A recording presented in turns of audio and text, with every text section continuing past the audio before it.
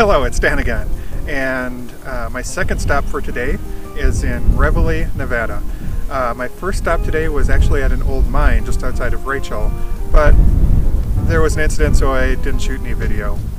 Don't worry mom, I'm fine.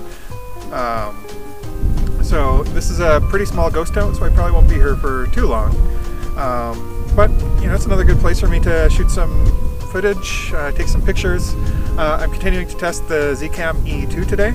Uh, at this point, I am shooting it uh, back into H.265 mode because I found last night that my iPad can't read ProRes, so I can't use LumaFusion, which is what I kind of want to use as my uh, editor while I'm on the go. Uh, I have my laptop with me on this trip because it's a work trip, so um, I can still put together yesterday's vlog with the laptop, but it's 2014 MacBook editing, high-res 4K footage.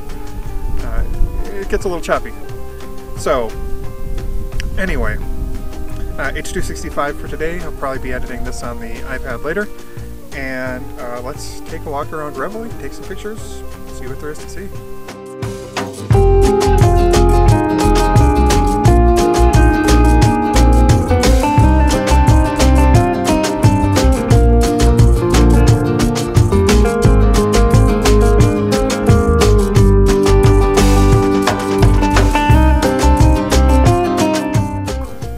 Case you're wondering why I'm bundled up today, it's because it's very cold up here. Uh, it's very windy, uh, this is at some elevation, and it's late November. And uh, I'll get some uh, footage of this well next to me to demonstrate just how cold it is, because the well is full of ice, has a dripping tap, and uh, there's uh, like an ice stalagmite forming underneath the tap. Also, what a great time to try the 4K 120 on this camera and get some kind of cool slow motion of the water droplets falling. So hopefully that turns out pretty cool.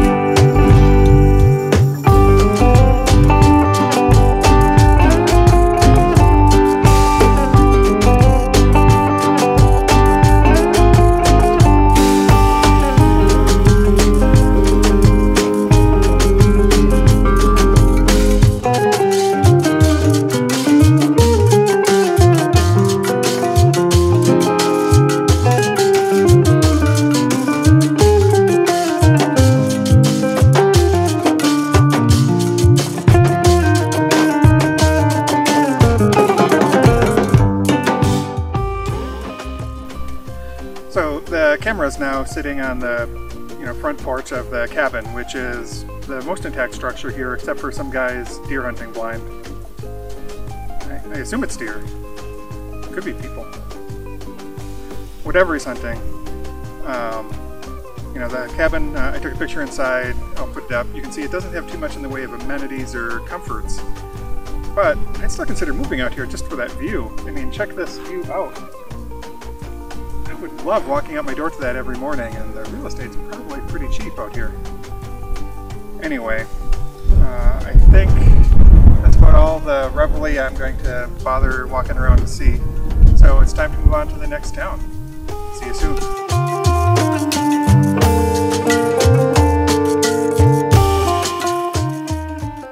Well, I'm now here in Golden Arrow, Nevada.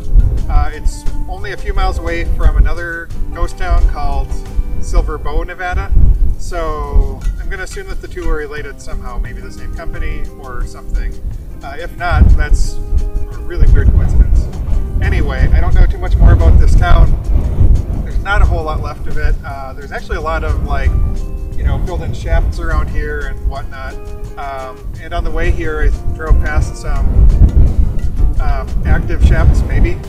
Um, so maybe there's some active claims, people still looking for gold around here. Anyway, I'm not going to spend too much time since there's really nothing but scrap metal and fenced in left shafts. So, next town.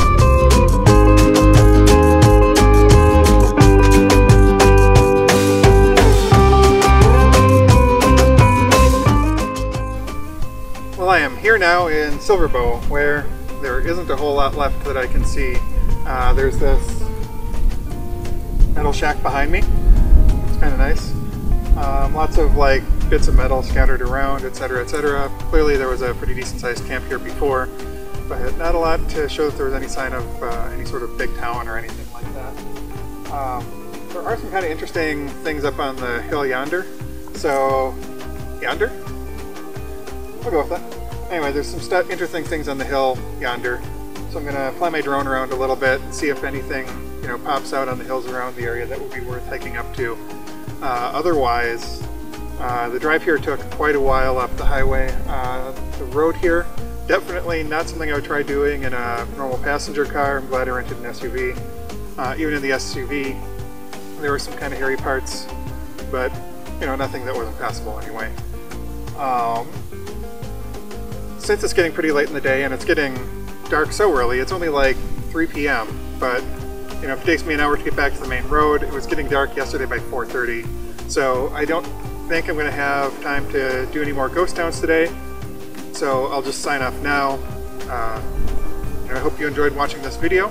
If you did, please feel free to like, subscribe, etc. If not, well, it's just too bad. Have a good day.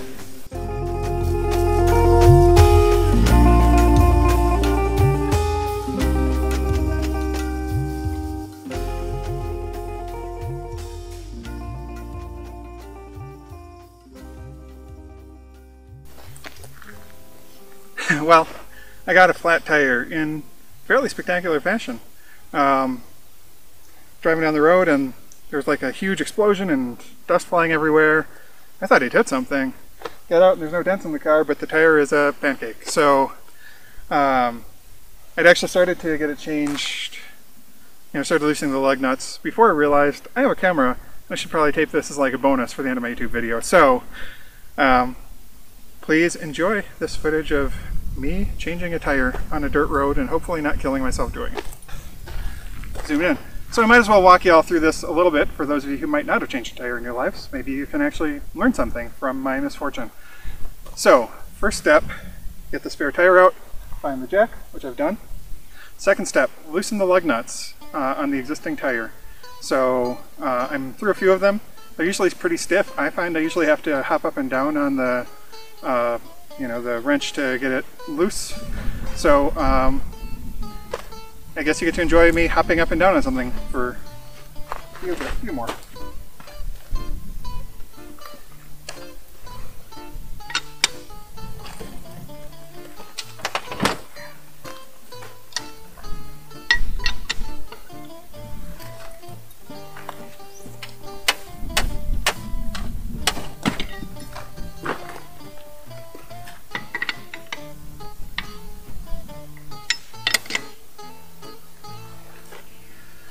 So you want to get them to where they can turn, but not to where the tire is coming off already.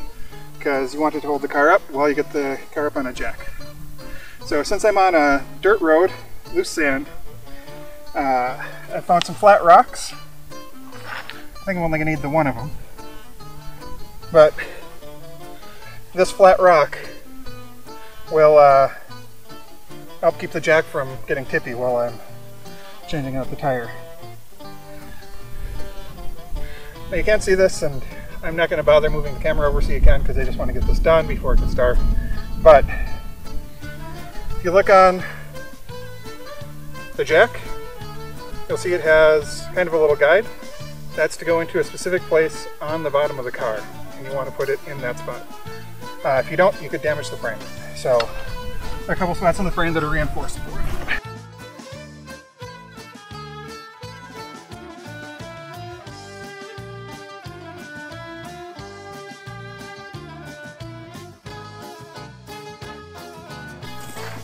well, the battery died, so I'm not sure how much of that was lost to um, that battery. But as you can see, I've got the spare tire on now. Lug nuts are all hitting in more or less finger tight. Probably can go a little bit finger tighter.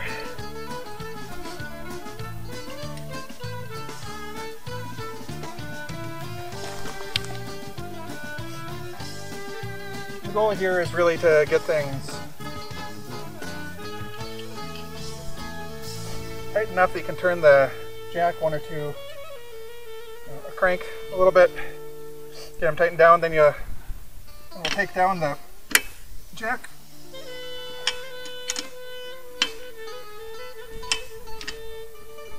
Then we'll tighten these up some more when the tire's on the ground, and I'm not likely to, uh, and I'm less likely to kick the jack over when I'm trying to tighten this down a little more.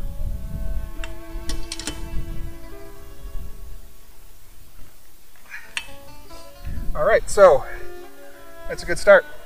Now, when you want to take the jack down, there's a trick you can use. It's got this little hook on it, which should fit, which usually fits. Oh, that's right. Sorry, my mistake. Hook goes there. This end of the jack goes through this part of the uh, wrench, lug wrench, and now you can crank that sucker down fast, which we want to, since there's the constant danger of the car coming down.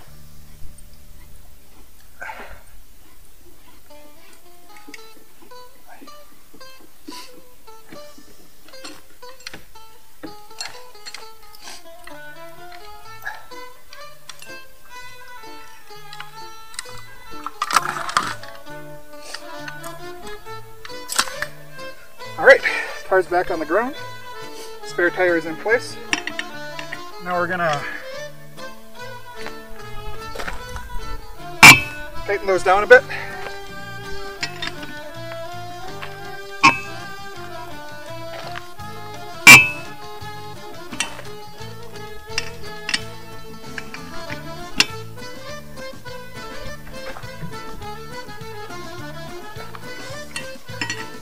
We don't want the car to go, or the tire to go flying off the car on the highway.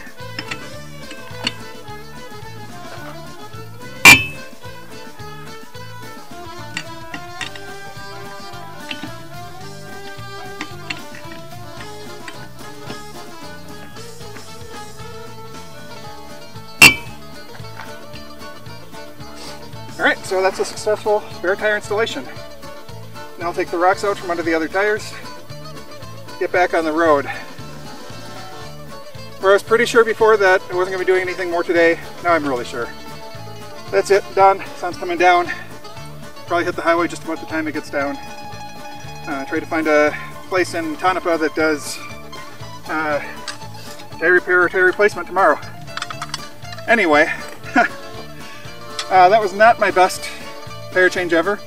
Um, dirt roads, never fun for tire changes, but I got it done.